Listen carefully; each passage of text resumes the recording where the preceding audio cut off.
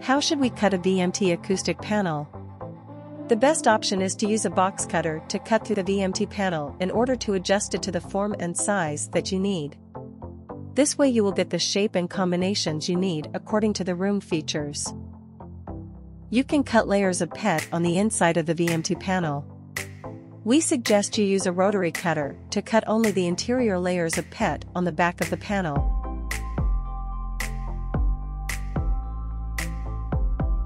Next, you need to remove the layers of PET from the panel.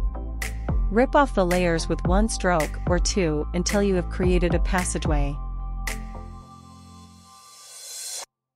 The VMT front of the panel must be kept untouched. The passageway can be used for cable pass-through. All you need is to pass the cable through the passageway, and it will be hidden behind the VMT.